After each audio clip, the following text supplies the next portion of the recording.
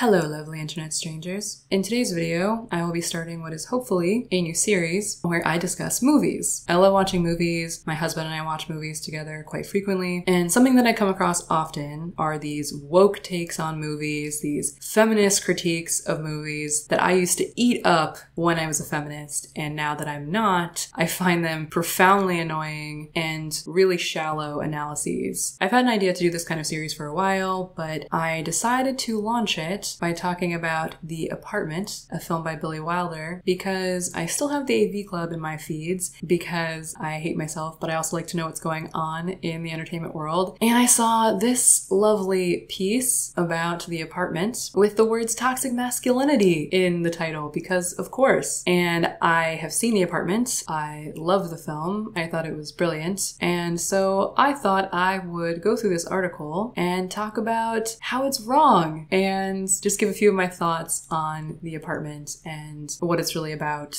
and what makes it great and why I don't think it's an indictment of toxic masculinity. All right, let's begin. The apartment premiered in the summer of 1960, three years before Betty Friedan's The Feminine Mystique kicked off second wave feminism, and a decade before Kate Millett popularized the modern usage of the term patriarchy. Yet even though Billy Wilder's classic Oscar-winning romantic dramedy didn't have the language to describe the kind of toxic masculinity that flourishes at its central consolidated consolidated life insurance company, the film offers a prescient look at the way workplace boys clubs can oppress both women and men. Ah, yes, patriarchy and toxic masculinity oppress women and men. Don't forget that. Instead of tear down the patriarchy, the apartment's rallying cry is be a mensch, a human being. Like any good modern feminist worth her salt, she has to make the point that they just didn't know it was called toxic masculinity, but they were making a critique of it anyway. Obviously. The apartment is generally read more as commentary on toxic corporate culture than toxic masculinity, mostly because protagonist CC Baxter, played by Jack Lemmon, isn't a particularly patriarchal man. He takes his hat off in the elevator, he's polite to women, and he doesn't have the callous masculine swagger of his male higher ups. Yet despite all that, Baxter still benefits from and uplifts patriarchy. He semi begrudgingly arranged a system where he loans out his apartment for his boss's extramarital trysts, and they agree to fast track his promotion. Soon enough, he's got his own office and a key to the executive washroom, so long as he grants new boss, Jeff D. Sheldrake, played by Fred MacMurray, use the apartment, of course. Yes, the apartment is generally read more as commentary on toxic corporate culture because it is. It's not about men being dicks. It's about people in power using that power over other people. Is the way they're doing it a way that men are more likely to use it, i.e., to have affairs? Sure. But our protagonist is the man who is essentially the victim of this abuse of power. I mean, he's deciding to trade his integrity for for a promotion, which is like the entire point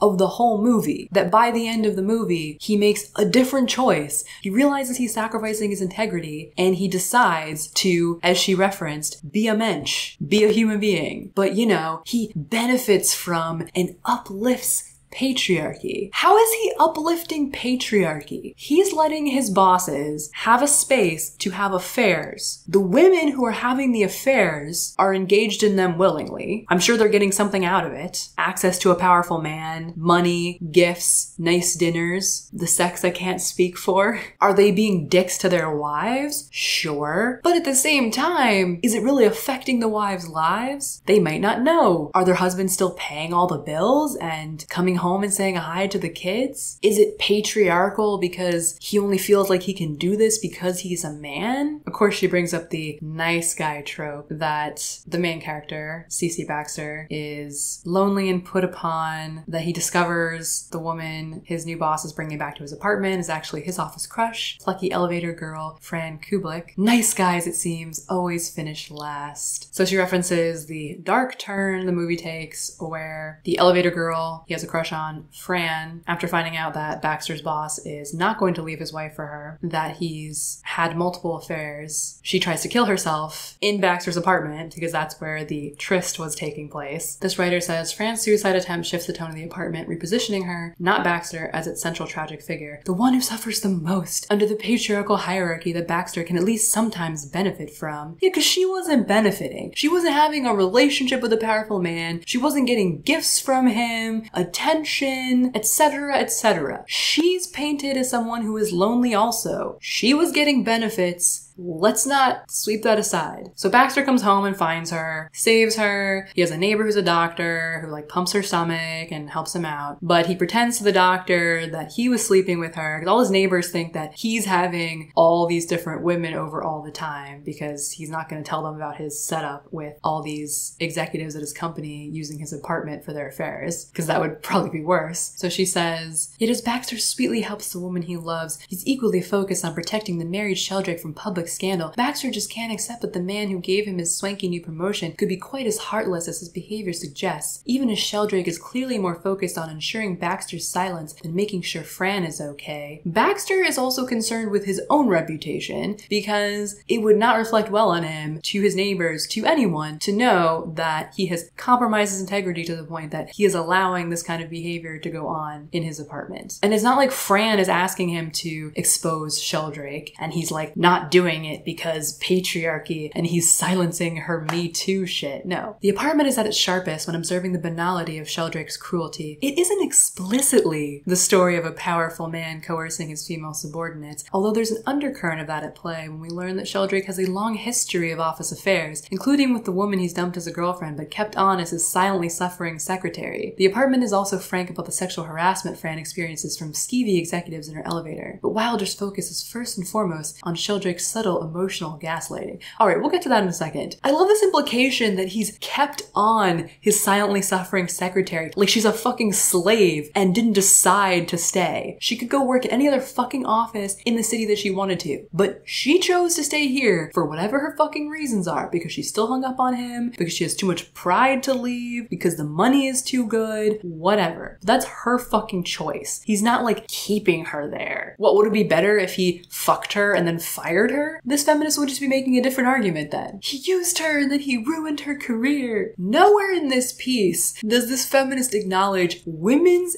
agency, aka women can decide to have affairs and they do. And there are benefits, like I said, attention, money, sex, the promise of something more. And that's the other thing that she doesn't want to admit. Why is Fran so naive that she thinks this man is gonna leave his wife for her? Why are so many women naive that they think that men who are married are gonna leave their wives for them, especially powerful ones? Like she really thinks that she's special somehow, that this man is not done done this before. She's an adult. She has full possession of her faculties to make the decisions. She can go get with CC Baxter if she wants, and she eventually does. Alright, back to the subtle emotional gaslighting. Earlier in the film, when Sheldrake asks Fran to meet him at their secret rendezvous restaurant, she's clear-eyed about the fact that their relationship was just a summer fling while his wife and kids were away. Though she's still heartbroken about their split, it's nothing a new haircut and a little time won't fix. But then Sheldrake tells her he's planning to divorce his wife for her, and he's even visited a lawyer about it. So against her better judgment.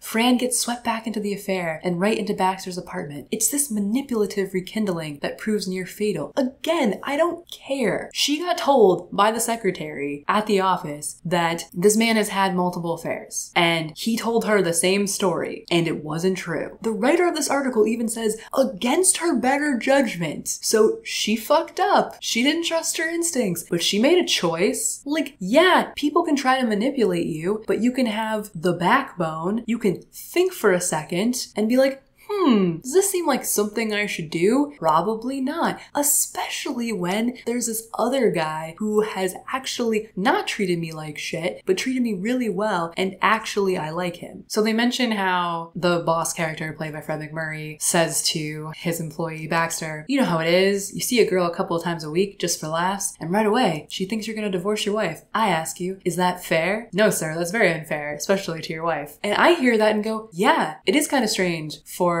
a woman to see a married man hooking up with them and think that he's going to leave his wife. The article continues that Fran is a sometimes wise, sometimes naive young working woman caught between the old fashioned values of the Eisenhower era and the swinging sexual revolution to come. When Sheldrake belittles her for not being a good sport after he confesses that he doesn't actually plan to leave his wife, a tear stricken Fran deadpans, You'd think I would have learned by now. When you're in love with a married man, you shouldn't wear mascara. Yeah, bitch, you should have learned that married men don't leave their wives, and now you have? How is this patriarchy? How is this sexist in any way? This is fucking life. You have a relationship with someone who treats you badly for whatever reason, and you learn to spot those people. You try to learn from your mistakes. Some people, it takes them a while. I'm skipping over the parts that just reference the movie and just focusing on the juicy patriarchy bits. She's referenced the fact that after Fran has her suicide attempt, she and Baxter stay in for the weekend and he nurses her back to health, and that's when they bond and start to fall for each other for real. So, as Baxter delights in nursing Fran back to health, he attempts to take a one foot in, one foot out approach to patriarchy. He wants to win Fran's love without giving up any of the privileges he's gained from the boys' club that oppressed her in the first place. At one point, he heads to Sheldrake's office to negotiate taking Fran off his hands. Never mind that Baxter hasn't talked to her about what she wants in any of this. It's there that Baxter finally sees firsthand the extent